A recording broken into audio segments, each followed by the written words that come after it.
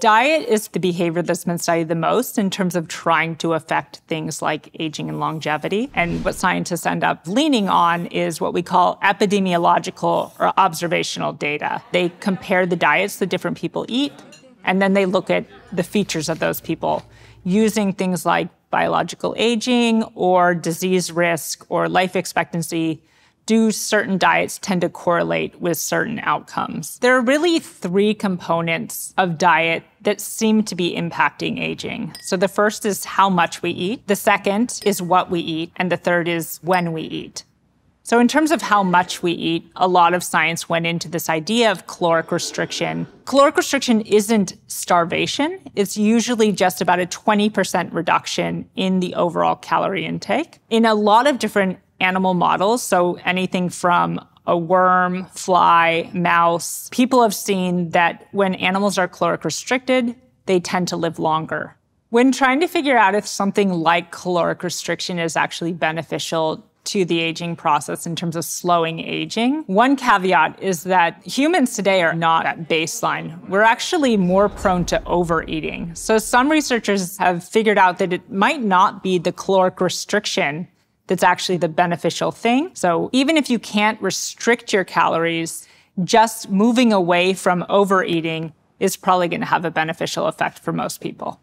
The other thing that's been studied is this concept of what we eat. A lot of research has gone into whether things like a plant based diet are actually beneficial to aging and longevity. And there seems to be some evidence that eating less animal products, more fruits and veggies, more whole foods is going to be better overall. And also minimizing things like refined sugars and the things that we know are bad for our health.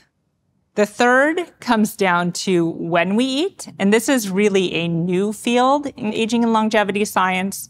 So again, most people aren't going to be able to calorically restrict, but what scientists found is actually fasting can mimic some of the benefits that we've seen with caloric restriction. So if people can perhaps minimize their eating to a small window, we think that this can actually recapitulate a lot of the benefits that we're seeing in the caloric restriction studies. The idea of why things like caloric restriction or fasting might actually improve our aging process is because we think this evokes this idea of hormesis in our bodies. What hormesis refers to is a mild stressor that actually makes our bodies more resilient and robust to stress over time. So having these short-term mild stressors, whether it be fasting or whether it be a small caloric deficit, actually makes our bodies more resilient against a lot of the changes we see that increase with aging.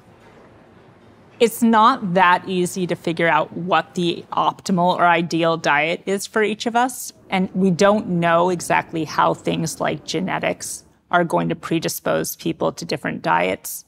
But one way to do this is to keep track of things like our biological age measures to see how our diet is affecting us. So if you were to completely change your diet or introduce something like intermittent fasting, do you see that reflected in your measures?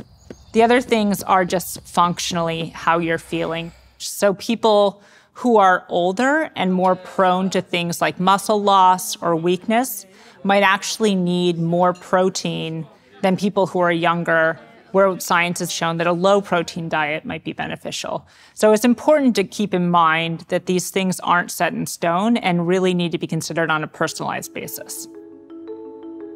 As we move forward in the science and develop more of these biomarkers of aging, I think this will really start to accelerate our understanding of how diet impacts the aging process. Our lifestyle and our behaviors are actually going to be the biggest contributors to how fast we're aging.